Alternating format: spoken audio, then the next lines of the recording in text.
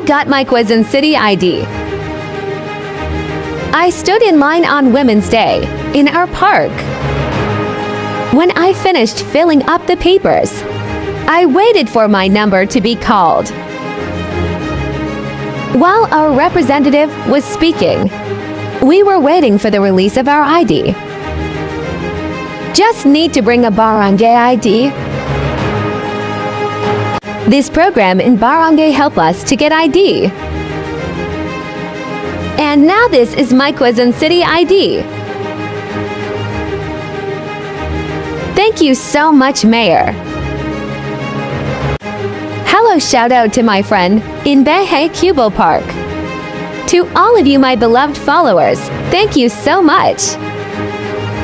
God bless you all and I love you all.